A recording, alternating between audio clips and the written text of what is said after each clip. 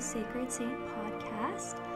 I hope you all have had a blessed day so far, and I will be praying this week that you have productive weeks and a restful Sunday.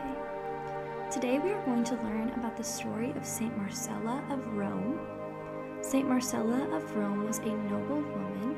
She was declared a saint and canonized by the Vatican for her role in founding the Christian monastic system.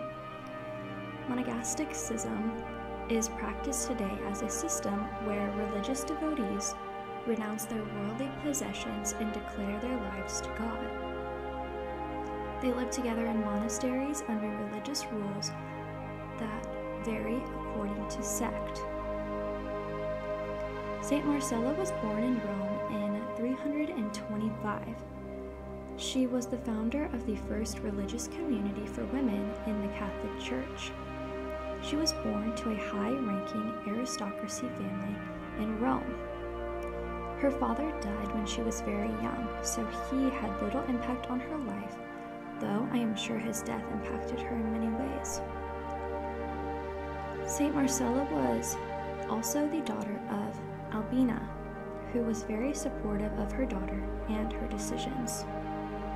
Saint Marcella was married to a man following her father's death they were married for about seven months until he tragically passed away.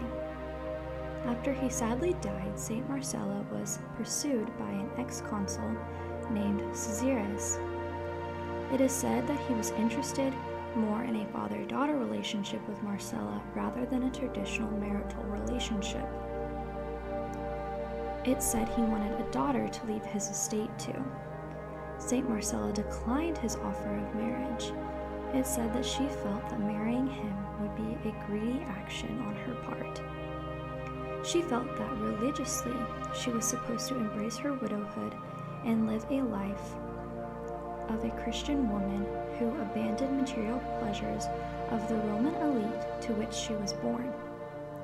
With her mother and good friend Priscilla Pa, Priscilla Pa, St. Marcella retired to her house on Aventine Hill in Rome.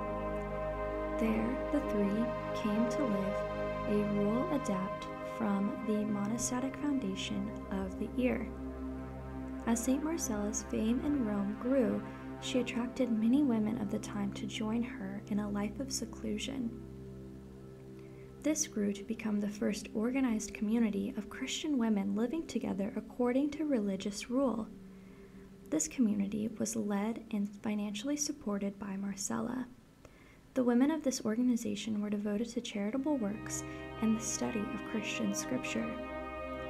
St. Marcella was not only the founder of her Christian women's community, but she also was a great intellectual of her time. She took the opportunity in her position to pose many philosophical questions about scripture that had confused her and her community. St. Marcella lived out her life in well established routine until 410. In 410, Rome was attacked by the Visigoths, whose king sought out Marcella as she posed great hidden wealth. The king did not know, though, that St. Marcella had St. Marcella's estate had been distributed through the funding of her charitable works. The king, this, was not St. Marcella was